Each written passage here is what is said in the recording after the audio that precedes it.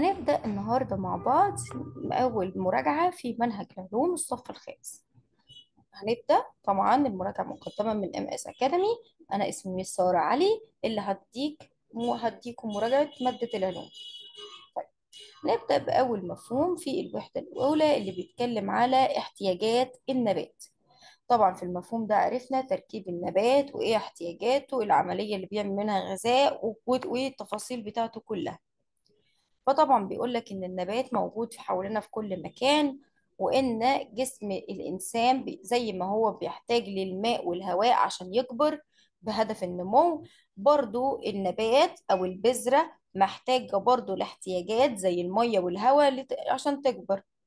فبعد كده قسمنا ان إن في فرق بين البذرة وفي فرق بين النبات. البذرة طبعا بتبقى لسه وهي صغيرة ما عندهاش أوراق ما عندهاش ساق ما عندهاش التركيب الكبير اللي إحنا عرفناه بعد كده. فالبذرة كل احتياجاتها بتبقى مية وهواء ومساحة تكبر فيه بس مش محتاجة حاجة أكتر من كده. إنما بقى النبات اللي هو بقى لأ ده عبارة عن أوراق وساق وجذور وكل التركيب اللي إحنا عارفينه هو آه محتاج مية وآه محتاج هواء وآه بس نزود بقى معاهم إن كمان محتاج ضوء الشمس وده مهم جدا جدا للنباتات. وبعد كده قلنا معلومة إن التربة ليست احتياجا أساسيا للنباتات. التربة ليست احتياج أساسي للنبات. طب ليه هي مش احتياج أساسي يا مس؟ لأن في نباتات بتقدر تنمو في الماء ونباتات بتنمو على نباتات أخرى. فالنباتات اللي بتنمو في الماء ما بيكونش ليها جذور أساسا عشان وما بيبقاش فيه تربة تبقى ثابتة فيها. وفي نباتات بتنمو بالتسلق على نباتات أخرى فالنبات ده ما بيبقاش ليه جذور وتربة ينمو فيها. فعشان كده ما أقدرش أقول إن التربة هي احتياج أساسي لجميع النباتات. هي آه في نباتات بتبقى أساسي إنها ترمي في تربة بس ما أقدرش أقول إن كل النباتات في العموم التربة محتاجاه لأ. يبقى التربة ليست احتياج أساسي للنبات. بعد كده النب... الإنسان والنبات الاتنين بيحتاجوا طبعا للماء والهواء والضوء. وبعد كده طبعا ولكن في اختلافات زي إن النبات بيحصل على غذائه بنفسه. إن هو بيصنع غذائه بنفسه. طب بيصنع غذائه بنفسه إزاي؟ طبعا أنت عارف من خلال عملية اسمها عملية البناء الضوئي. وإنما الإنسان بقى لا بيحصل على غذائه من النبات والحيوان. إن إحنا بناكل نباتات أو ناكل حيوانات ونحصل منها على غذاء.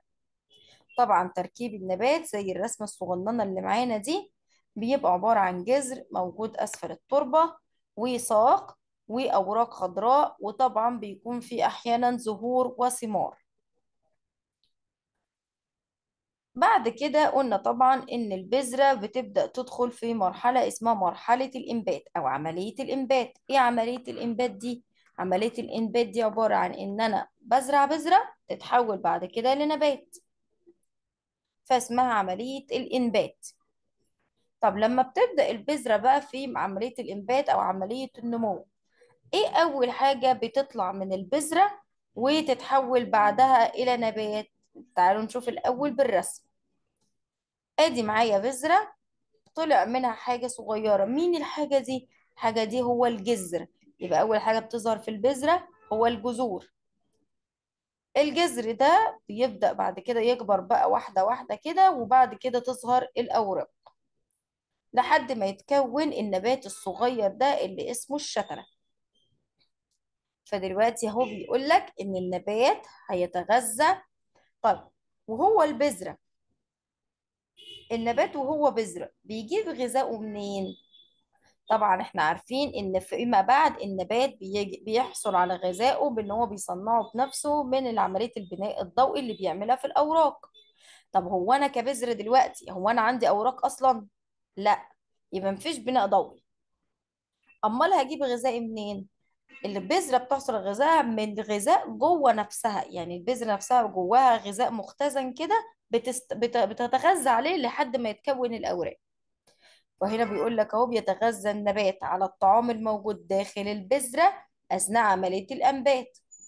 وبعد ما خلاص اتكون الجذر وكبر تبدأ تظهر الأوراق ويدخل النبات في مرحلة الشتلة. الشتلة اللي هو النبات الصغير اللي خلاص اتكونت عنده الأوراق. وبعد كده بيقولك عندما تكون الظروف غير مناسبة لو المية والهواء مش مناسبين البذرة مش هتحصل على الإنبات. أو مش هتمر بعملية الإنبات لأن إحنا قلنا الاحتياجات البذرة الأساسية الماء والهواء. يبقى الشتلة هو نبات صغير جدا. عملية الإنبات هي عملية بتبدأ بها البذرة في النمو عشان تصبح نبات جديد وإن النباتات بتستطيع النمو في كمان في الظروف الصعبة. زي ما خدت السنة اللي فاتت إن نبات الصبار بينمو في الصحراء بإن المية قليلة. بس كان بيقدر طبعا يتغلب على الموضوع ده بإن هو بيكون عنده جذور طويلة وكمان بيكون عنده أشواك حادة. مثلا مش عايزين ندخل في التفاصيل دي. وكمان أهو بيقول لك إن عنده جذور طويلة تحصل بها الماء وكمان بيكون عنده طبقة شمعية بت- بتمنع منه فقدان الماء. طب النبات بيحصل على غذائه عن طريق إيه؟ الغذاء قلنا بيصنع غذائه بنفسه. وعشان يصنع غذائه بنفسه قلنا محتاج ثلاث حاجات الماء والهواء وضوء الشمس. ودول هيجيبهم عن طريق ثلاث حاجات الجذر والساق والأوراق. هنعرف إزاي؟ حاجة. أول حاجة الجذور قلنا طبعا إن تتشابه النباتات في وجود جذور. ولكن تختلف في أشكالها. يعني الجذور بتبقى موجودة في النباتات ولكن الجذور دي طبعا ليها أشكال والسيقان كمان بيبقى ليها أشكال والأوراق كمان بتختلف برضو في الأشكال. طب إيه أهمية الجذور في النباتات؟ أول حاجة إن هي طبعا بتثبت النبات في التربة إن النبات ده بيبقى موجود في تربة معينة. التربة دي بيبقى النبات محتاج إن هو يتثبت فيها بحيث إن هو ما يحصلوش اهتزاز ما يحصلوش أي مشكلة بسهولة.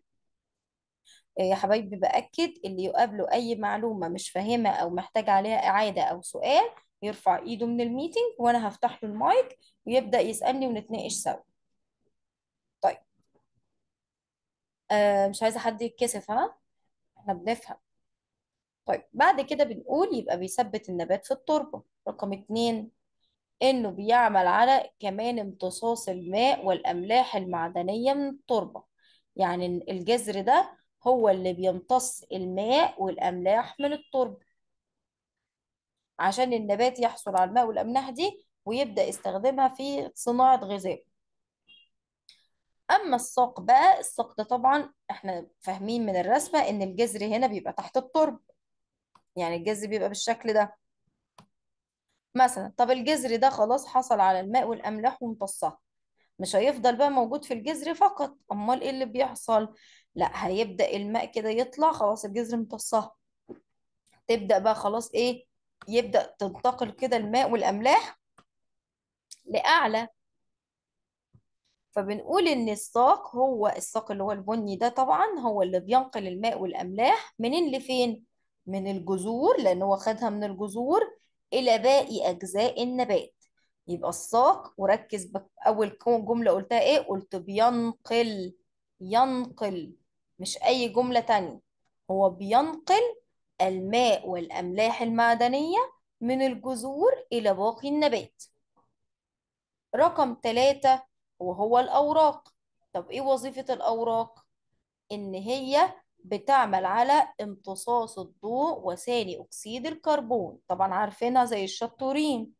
الأوراق دي كده دلوقتي بتمتص حاجتين الضوء وثاني أكسيد الكربون اللي هو من الهواء. لو ركزنا من الأول إحنا قلنا احتياجات النبات ثلاثة ماء وهواء ضوء شمس. ولو خدت بالك هتلاقي النبات كده حصل على الثلاثة إزاي؟ الجذر امتصله الماء والأملاح والساق نقل نقلها ووصلها لأجزاء النبات. ضوء الشمس والأوراق امتصته. ثاني أكسيد الكربون اللي هو من الهواء وبرضو الأوراق عملت له امتصاص. فبكده النبات قدر إنه يحصل على الثلاث احتياجات الأساسية بتوعه. يلا بينا نحل مع بعض بالدور. اللي هقول له يفتح المايك يفتح المايك ويبدأ يحل كده. يلا السؤال الأول يا ياسين. نعم يا مس يلا حبيبي. صح أو خطأ؟ تمام. ضوء الشمس من الاحتياجات الأساسية للنبات؟ ال... صح. برافو. صح. يلا يا سيرين. نعم يا ميس. يلا حبيبي. تمتص الجذور الماء والأملاح من التربة؟ صح. برافو. طب لو قلت إيه، تنقل الجذور الماء والأملاح من التربة؟ لا غلط. برافو. في فرق لما أقول تمتص وفي فرق لما أقول تنقل تمتص دي جذور إنما مين اللي بينقل؟ الساق. شطورة شطورة. يبقى الجملة هنا صح وفرق. هو بيقول لي تمتص ولا تنقل يلا يا ريهام.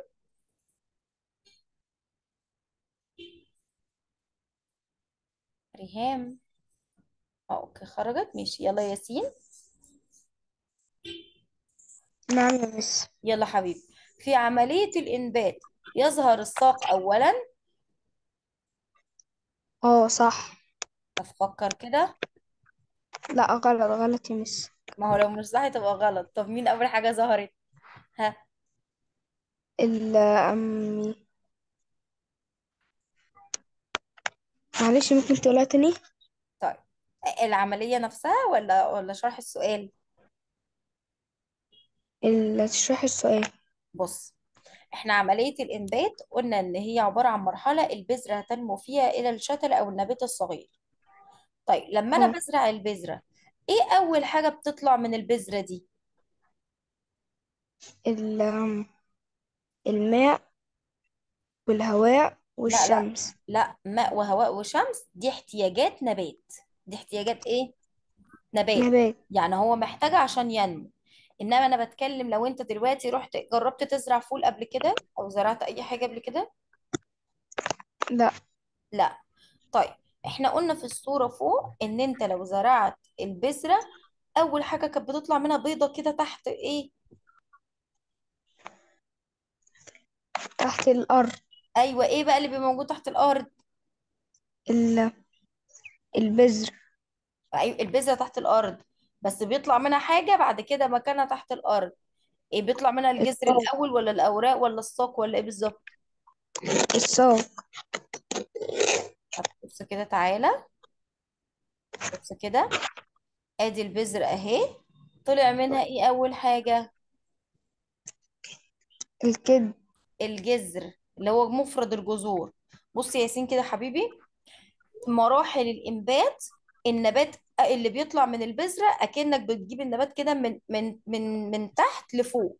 تاني مراحل الإنبات أول حاجة بتظهر أكنك بتجيب النبات من تحت الإيه؟ الجذور. يعني أدي مثلا نبات كامل أهو. أول حاجة تبدأ تظهر الجذور وبعدها الساق وبعدها الأوراق. يبقى بالترتيب كده أول حاجة تظهر الساق آه عفوا أول حاجة تظهر الجذر وبعد الجذر الساق وبعد كده الأوراق. اتفقنا؟ ماشي. فهنا السؤال نرجع له تاني. يلا أنا هعمل نفسي إن إحنا ما خدناش بالنا وما قلناش أي حاجة. يلا اقرأوا حلو لوحدك بقى. في الإنتاج. ها؟ الإنتاج. يظهر الساق ال- أولا ها؟ غلط. غلط. المفروض بيني وبينك كده مين اللي بيظهر الأول؟ الجذور. ممتاز. يلا يا آه، سيرين. تمتص أوراق آه، الأوراق ضوء الشمس وثاني أكسيد الكربون. صح. صح. برافو عليكي شطورة. الأوراق قلنا فعلا بتمتص الهواء وبتاخد منه ثاني أكسيد الكربون وضوء الشمس. طيب. آه ريهام معايا. ريهام. طب أسماء. هي اللي داخلة باسم آيفون ريهام وأسماء. عشان أسماء طيب أنتي أنتي عاملة enable ال mic انت أكيد مش سامعانا أصلا. آه طيب آه ريهام انتي سامعانا يا حبيبي ولا مش عارفة تفتحي ال mic؟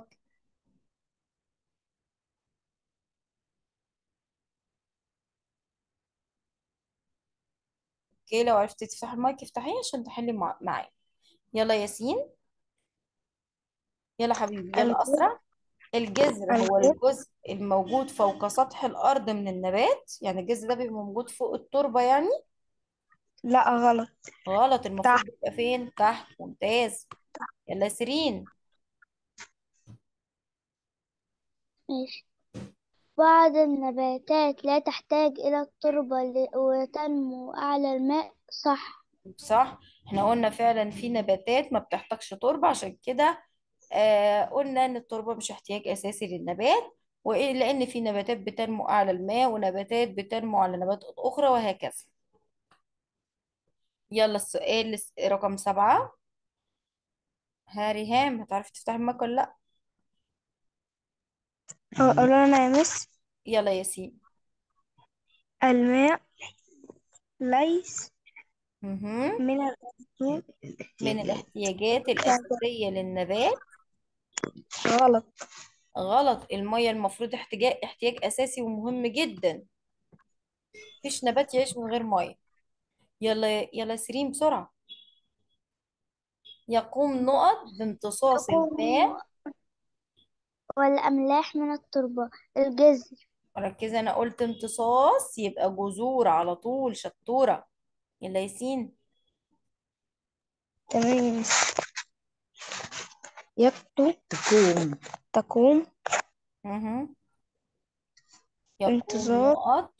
بامتصاص الضوء وثاني أكسيد الكربون. الأوراق. شطور الأوراق. يلا رقم اتنين. آه رقم تلاتة. يلا سيرين. الساق. مين اللي هيقوم بنقل الماء والأملاح؟ بصوا هنا طالما أنا قلت النقل يبقى ساق. شطورة. ثانية نشوف مين الضيف الجديد ده. إبراهيم.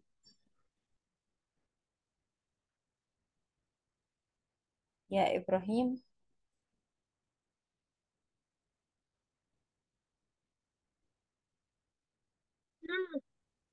آه صوتك بعيد بس شوية. كنت أقربه أكتر؟ نعم. السلام عليكم. عامل إيه؟ والله كويس. طيب الحمد لله. ممكن تحل معانا؟ ماشي. يلا. يلا اقرأ رقم أربعة. من يحتاج من الاحتياجات من الاحتياجات الأساسية للنبات؟ أها. ماء ولا ضوء شمس جميع ولا؟ ما صب أيوة جميع ما صب برافو. ما نختارش قبل ما نقرأ كل السؤال والاختيارات ماء ولا ضوء شمس ولا هواء؟ يبقى برافو عليك جميع ما سبق. شطور. يلا اقفل المايك. لو قابلك أي سؤال عشان أنت لسه داخل من نفسك نرفع إيدينا من الزوم عشان نبدأ نت- نتناقش مع بعض وأفهمك اللي أنت محتاجه. ليه يلا يا مس. إيه يا حبيبي؟ آه يلا أحل. ياسين آه ياسين يلا. في عملية إنبات البذر. ها. يظهر أيوه. الجذر. ها إيه اللي ظهر الأول في الإنبات؟ الجذر. شطور. الجذر أول حاجة ظهر. يلا عليه الدور.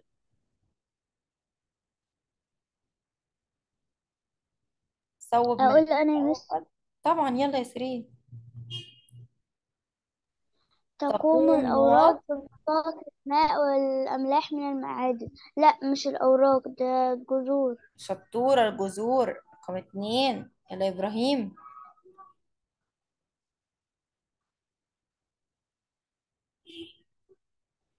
إبراهيم. نعم. يلا رقم نعم يا مس اتنين. رقم جي آه، تقوم أيوه الأوراق لا ر- رقم اتنين يا حبيبي. في عملية الإنبات. في عملية الإنبات يظهر الساق أولا. مهم. عملية الإنبات يظهر الساق أولا. آه لا مس آه، الس- الساق آه غلط. المفروض يظهر إيه؟ اللي هو مم، ورق النبات. لا. ركز تاني. لا يا مس الجذور. الجذور. بص كده يا حبيبي يا إبراهيم النب... عملية الإنبات أول حاجة بتظهر فيها من تحت هو ال... يعني أكنك بتجيب النبات كده من أسفل لأعلى. أول حاجة تظهر هو الجذر وبعد كده الساق وبعد كده الأوراق. يبقى أول حاجة بتظهر هو الجذر مش الساق يلا تلاتة ياسين تنقل الأوراق الماء والأملاح من التربة إلى النبات. مهم. اللي هينقل ركز ينقل الماء والأملاح من التربة إلى النبات فوق هو الأوراق؟ لا. فكر بقى مين بدل الأوراق.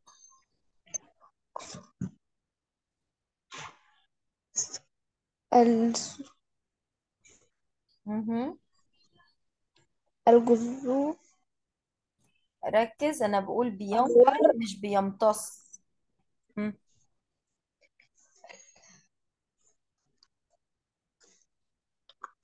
التربة. لا هي التربة هتنقل. لا لا.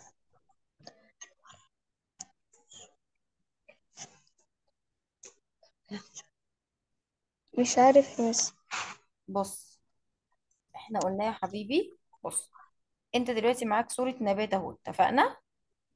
آه. ماشي. الجذر بيعمل إيه؟ الجدر بيعمل الس- امتصاص. صح كده؟ آه. يعمل امتصاص يعني ياخد كده الماء والأملاح المعدنية من التربة. طب هو خلاص الجذر امتص الماء والأملاح. الماء والأملاح دي هتفضل بقى في في الجذر بس؟ هو باقي النبات فوق مش محتاج المية دي ولا محتاجها؟ محتاجها فمين بقى اللي بيوصل بين الجذر تحت هنا؟ الساق النبات اللي فوق. يبقى مين اللي هيوصل بينهم؟ الساق برافو. يبقى الساق هو اللي بينقل الماء والأملاح من الجذر إلى باقي أجزاء النبات. يبقى لو رجعنا كده للسؤال لا هنقول بدل الأوراق إيه؟ الساق. الساق هو اللي بينقل الماء والأملاح. يلا السؤال الرابع. يلا يا سيرين. ماشي. الجذور امتصاص ضوء الشمس ثاني أكسيد الكربون غلط. امتصاص الماء لا يا والأملاح من حبيبي ده مش التربة صح صح غلط. آه ده وصل. أنا بقول لك يعني اللي هو بنوصل. لا الجذور ال- امتصاص الماء والأملاح من التربة. هي اللي شطورة. بتعمل كده يعني. شطور شطور. يلا رقم اتنين. آه إبراهيم. نعم يا مس يلا حبيبي الساق. آه، الساق. إيه آه، امتصاص اللي هي امتصاص الماء والأملاح لا لا براحتك الساق آه، بت... الساق بتنقل الماء والأملاح من الجذر إلى الأوراق برافو الساق هو وظيفته النقل. يبقى خلي بالك الجذر بيمتص الماء والأملاح إنما الساق هو اللي بينقل الماء والأملاح. رقم ثلاثة طبعا خلاص مفيش غيرها. وظيفة الأوراق هي امتصاص الضوء وثاني أكسيد الكربون. إضافة الضوء للكربون. شطور يلا مصطلح علمي. هيقول لنا عملية نقول اسم العملية دي إيه؟ آه كابتن أحمد. لا خرج. أوكي. يلا ياسين. عملية تبدأ من البذور في النبات النمو النبات ها عملية تبدأ بها البذور في النمو لتصبح نبات. يعني إن البذرة تنمو عشان تبقى نبات. العملية دي اسمها إيه؟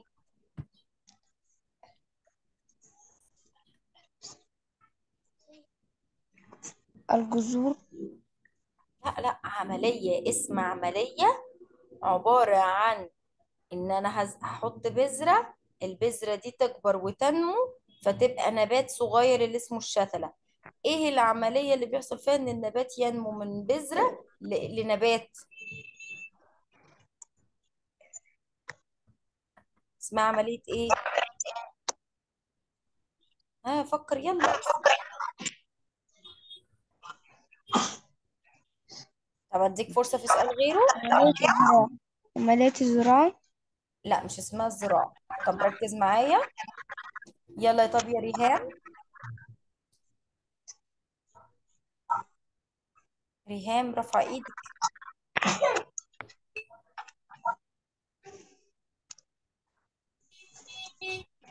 آه ريهام افتحي المايك يا حبيبي.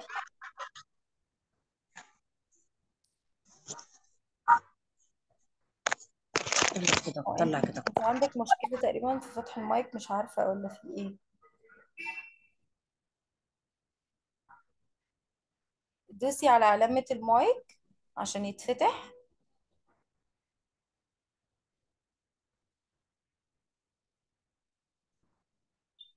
طيب أوكي لما تعرفي تفتحيه طب افتحيه عشان نحل مع بعض.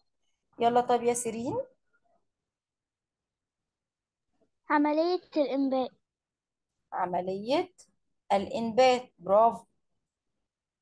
طيب العملية يا ياسين العملية إن إن البذرة تكبر وتبقى نبات اسمها عملية الإنبات مش الزراعة. اسمها عملية الإنبات. اسمها عملية لا. إيه؟ الإنباء الزراعة دي عبارة عن إن أنت تروح تاخد بذرة كده وتحطها في التربة. إنما أنا مش الإنبات. بتكلم على كده. إن البذرة تكبر وتبقى نبات اسمها عملية الإنبات. أهي خدناها فوق أهي. اللي عطيت عليها الرسمة دي اسمها عملية الإنبات. هي عملية تبدأ بها البذور في النمو لتصبح نباتا جد- كبير. اسمها عملية الإيه؟ الإنبات. برافو شطور. خليك كده شطور ومركز. يلا عملية الإنبات. رقم اتنين. لا إبراهيم. هعيد لك السؤال استنى. نعم. ها. يلا. آه، جزء جزء في النبات يقوم بامتصاص الماء والأملاح اللي هو الساق. آه الساق برافو الساق هو اللي هيقوم بامتصاص الماء والأملاح؟ ركز كده امتصاص. لا آه، مس الأوراق. بامتصاص لا الجذور يا مس الجذور. ها؟ المفروض الجذور. الأوراق الجذور. أيوه اللي بيمتص فقط هو الجذور. اللي بيمتص فقط هو الجذور. الأوراق مش بتمتص ماء وأملاح. الأوراق مش بتمتص ماء وأملاح. إنما اللي بي... الساق الساق بينقل الماء والأملاح. الساق بينقل. ركز إنما أنا بقول بيمتص يبقى جذور. تمام. رقم ثلاثة يلا أقفل المايك. رقم ثلاثة آه ده دور إبرا... يلا ياسين. نعم يا مس. يلا حبيبي. هي نبات فخير جدا. ها؟ يظهر بعد بعد عملية عملية الإنبات. الإنبات. ركز ده محتاج تركيز منك ده. النبات إحنا قلنا البذرة لما بزرعها في عملية الإنبات ابتدت تكبر لحد ما تبقى نبات صغير كده يا دوب ظهر فيه الأوراق.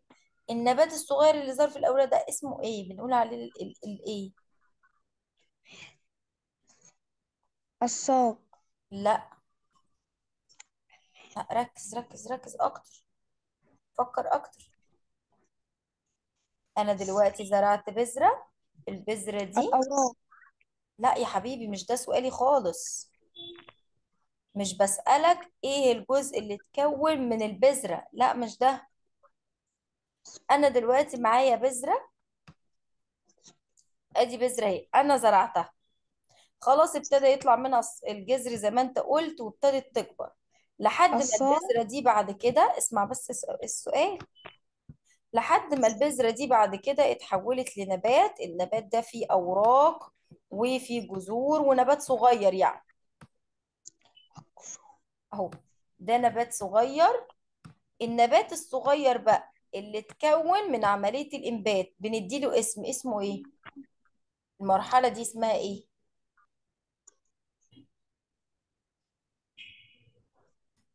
أساعدك واقول لك إن هو ال وبعد كده حرف الشين. الشمس. لا شمس إيه؟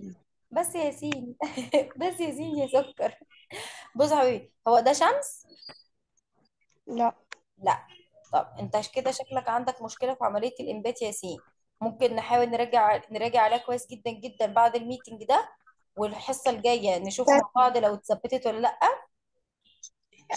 الشد بص إحنا خلاص قلنا إن البذرة أول حاجة بتتكون منها جذر وبعد كده بتفضل تكبر لحد ما يتكون الأوراق ويبقى فيه نبات صغير اسمه الشكلة. اسمه إيه؟ الشكلة. يبقى مين هو النبات الصغير اللي اتكون من عملية الإنبات؟ يبقى اسمه إيه؟ الشكل. الشتلة الشكل. برافو عليك ما تنساهاش. ماشي. يلا اكمل. يلا يا سيرين.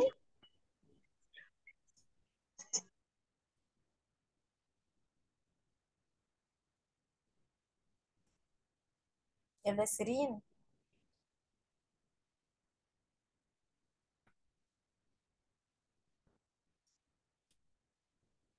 آه ثانية حبيبي افتح لك المايك. افتحي كده. يلا قفلتيه تاني ليه؟ يلا افتحي المايك. ماشي. يلا يا حبيبي. يحتاج النبات لينمو إلى الماء ونقط. وضوء الشمس وثاني أكسيد الكربون. برافو. هو هو حط أي احتياجات هما التلاتة ماء وضوء شمس وثاني أكسيد الكربون. رقم اتنين. يلا يا إبراهيم.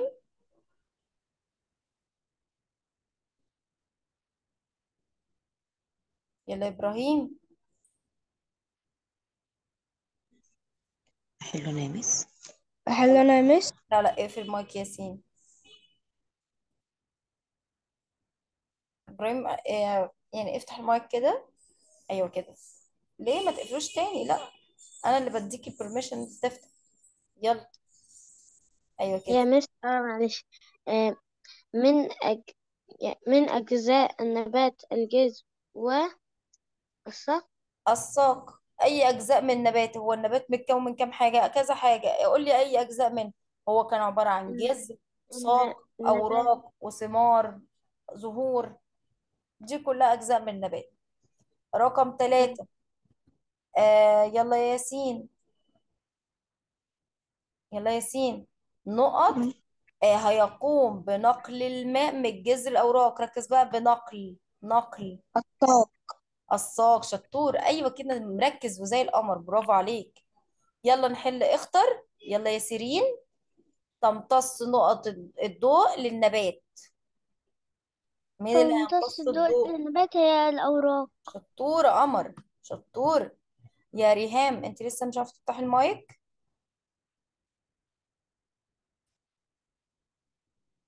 طيب أوكي. يلا يا إبراهيم. عند عملية الإنبات يظهر نقط أولا. يلا يا إبراهيم. يا مس. نعم يا مس. آه نعم. نعم يا مس. آه عند عملية الإنبات أها. يظهر إيه اللي بيظهر الأول؟ الجذر. ولا الساق؟ الجذر الجذر يا مس متأكد؟ أيوة. أيوة صح برافو عليك الجذر فعلا. يلا ياسين الجزء الموجود تحت الأرض من النبات هو؟ الج- الجذور. الجذور برافو عليك الجذر برضه. السؤال اللي بعده يا سيرين بيقول لك بما تفسر لجذور النباتات أهمية كبيرة. ليه الجذر مهم؟ لأن آه الجذور لأنها تنقل آه تنقل آه لا لأنها تمتص ماء أيوة كده العادم من مركزة التربة وتثبت النبات في الأرض. برافو التربة. شطورة شطورة. يبقى لأنها ليها وظيفتين تثبيت النبات في التربة وكمان امتصاص الماء والأملاح من التربة. رقم اتنين يلا يا إبراهيم بيقول لك لأوراق النباتات أهمية كبيرة. ليه؟ ليه الأوراق مهمة؟ لأنها لأنها تعطينا الأكسجين لا لا لا لا وتعطينا إيه وظيفة الأوراق؟ إيه وظيفة الأوراق؟ بغض النظر عن التفاصيل اللي أنت قلتها ورا هي كده يا مس. آه انتصار الضوء الضوء مهم. وثانية الكربون امتصاص مس ضوء أنا الشمس وثاني أكسيد الكربون برافو عليك فلما يقول لنا ليه الأوراق النباتات لها أهمية كبيرة هتقولوا وظيفة الأوراق إنها بتعمل على امتصاص ضوء بعد الشمس. إذنك يا مس في وثاني- برضو وظيفة تانية. إيه يا حبيبي؟ لا فيها بتعمل عملية البناء الضوئي. أكيد أكيد في أهميات كتير لسه هنقولها قدام إن هي برضو أكيد بيحصل فيها تكوين غذاء النبات من خلال عملية البناء الضوئي وإن كمان عن طريق الصغور اللي فيها بتخرج غاز الأكسجين. بس دي مراجعة فنمشي بس معلومة معلومة كده عشان في ناس ما بتبقاش عارفة لسه كل الحاجات دي. اتفقنا؟ طب يا مس طب يا مس هنستفاد إيه يا مس أول ما هي امتص الضوء الشمس مش فاهم آه أنت بتسأل مين اللي بيسأل طيب؟ أنا يا مس إبراهيم. طيب. آه هو أنت خدت عملية البناء الضوئي يا إبراهيم؟ أيوة طيب عملية تالتة البناء الضوئي عشان تتم النبات محتاج كام حاجة؟ محتاج شمس برافو وهواء و... وماء وأملاح صح كده؟ أيوة طيب انت أول حاجة قلت لي محتاج إيه ضوء شمس مم. طيب هو الأوراق مين اللي بيد- بيمتص ضوء الشمس؟ ال... الأوراق. أيوه الأوراق. الأوراق بتمتص ضوء الشمس وثاني أكسيد الكربون. يبقى الأوراق مهمة لأن هي اللي هتمتص ضوء الشمس اللي هو محتاجه النبات في عملية البناء الضوئي. ده سؤالك تمام. ولا كده أنا جاوبتك ولا لأ؟ أنت بتلخبط في حاجة مختلفة أصلا. يا مس حضرتك جاوبتني خلاص. طيب تمام شطور. نبدأ نراجع بقى على عملية البناء الضوئي اللي طبعا مهمة جدا جدا. هنا بيقول لك إن طبعا إن النبات آه عرفنا طبعا إن التربة مهمة للنبات ولكن هي ليست احتياج أساسي. وبعد كده طبعا كان في تجربة عندك آه يا حبايبي ال meeting هيقفل كمان دقيقة لما يقفل نرجع ندخل على نفس ال link مرة تانية. آه إن النبات كنا بنعمل تجربتين نجرب مرة نعمل عملية ال- الإنبات في تربة ومرة تانية نعملها في مناديل ورقية مبللة اللي هو المنديل يعني. ونشوف أنهي نمو أسرع في النبات في الاتنين فطبعا كان نمو البذور أسرع في التربة عن المنشفة الورقية. هو آه في الحالتين البذور كبرت ولكن النمو كان أسرع في التربة. والاتنين آه كبروا ولكن النبات بيوصل لمرحلة معينة وعندها بيبقى محتاج إن أنا أنقله لتربة عشان ياخد منها الأملاح المعدنية اللي ودي مش موجود في المنشفة الورقية. يعني في العموم النمو أفضل في التربة عن المنشفة الورقية. بعد كده